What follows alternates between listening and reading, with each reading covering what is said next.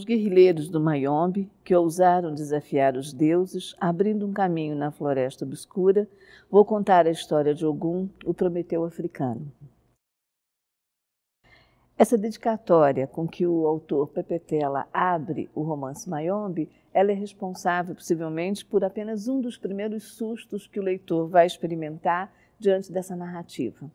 É, esse livro foi escrito no final dos anos 70, ah, ou melhor, no começo dos anos 70, né, e ele foi escrito num ambiente ah, bastante peculiar, bastante particular e, e também muito comum da, entre as obras produzidas pela literatura africana de língua portuguesa. Ele foi escrito no ambiente da guerrilha, ou seja, é? O Pepe Tela, que é o seu autor, ele era um guerrilheiro, ele era um comandante da guerrilha, ele ocupou várias funções durante o processo da luta de libertação e fazia guerra durante o dia e à noite produzia. Né? É, de fato, né, trata-se de, uma, de, um, de um contexto bastante diferente, né, muito diverso daquele que normalmente nós imaginamos como contexto ideal de produção da literatura. É alguém que de dia lida com a morte e à noite lida com a imaginação. Né, e à noite procura uh, refletir e à noite produz um, um, uma obra literária, uma obra, portanto, ligada à estética. A, a escolha do Mayombe como leitura obrigatória, ela vem resgatar, de certa forma, ela chega com atraso, não é? Mas ela vem resgatar, de certa forma, uma dívida que nós temos com a porção africana que vive no Brasil. Não é?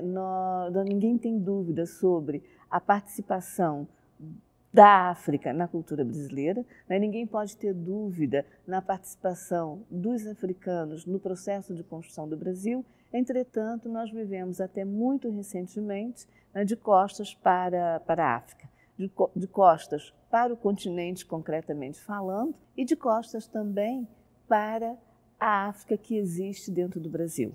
É, em 2003, com a assinatura de uma lei que tornou obrigatório o, o, ensino de alguns conteúdos africanos, nós conseguimos reparar um pouco essa parte. Então, eu penso que esse livro, como leitura obrigatória, ele vai contribuir é, para o desvendamento de, de muitas coisas ocultadas na sociedade brasileira.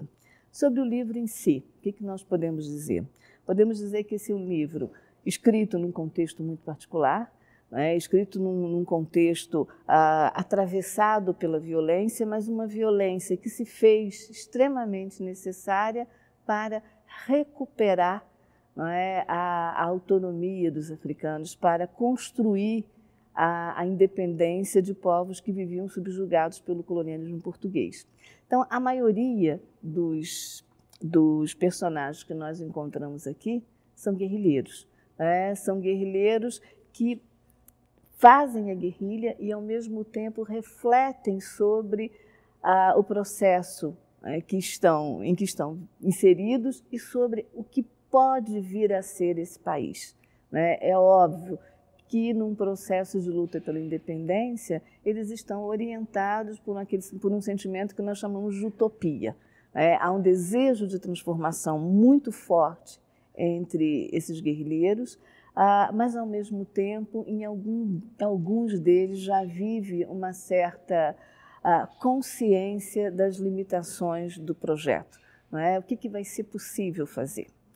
Ah, o modo, né, digamos assim, que o Pepetela ah, descobriu, o modo que ele construiu para dar essa visão bastante plural, bastante múltipla, que em certa medida se contrapõe àquilo que nós de um modo geral, estamos habituados a ver em momentos de muito conflito, foi exatamente construir vários narradores.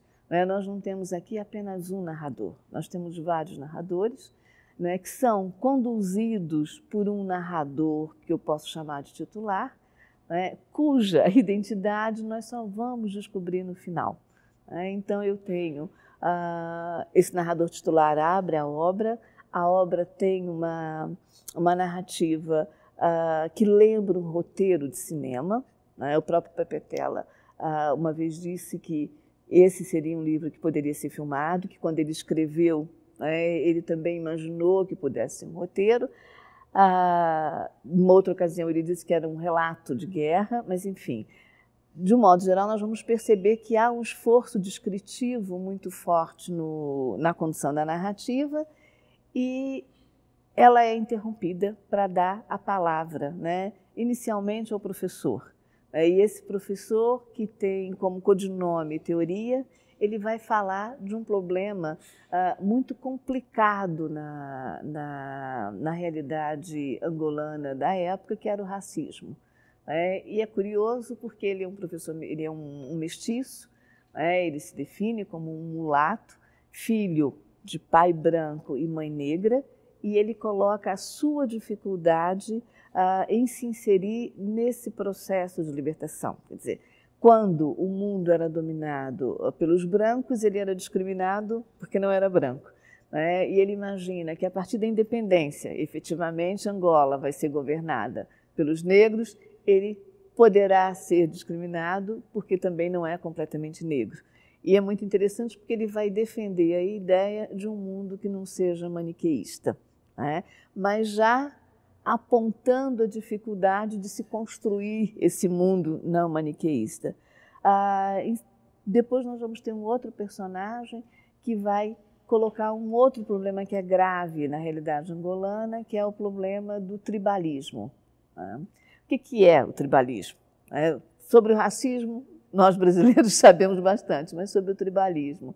Está ligado à, à própria constituição desse território que hoje nós reconhecemos como Angola, né, que foi composto a partir uh, de vários grupos que os portugueses reuniram, né, quer dizer, os portugueses com, com a procuração do, dos europeus em geral, reuniram no mesmo, no mesmo Estado.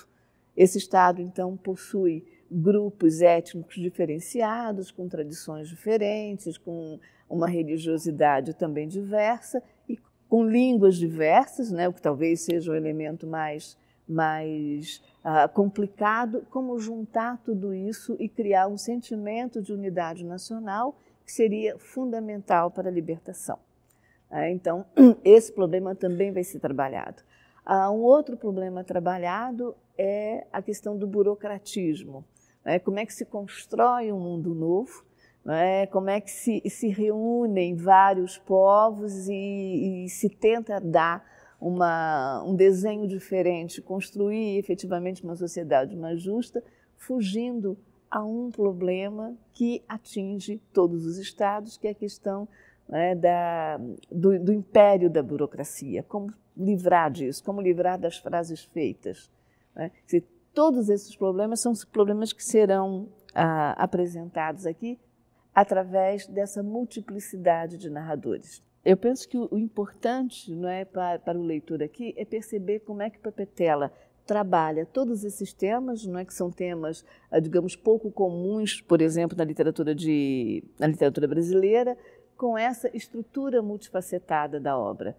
Como é que essa pluralidade de narradores consegue uh, refletir de forma muito dinâmica é, uma proposta que é uma proposta de uma reflexão mais aguda, mais vertical sobre esse momento muito particular na história de Angola, que é o momento da guerrilha, o momento da, da preparação, né, o momento da, da transformação da colônia num país livre e soberano como desejavam já os angolanos.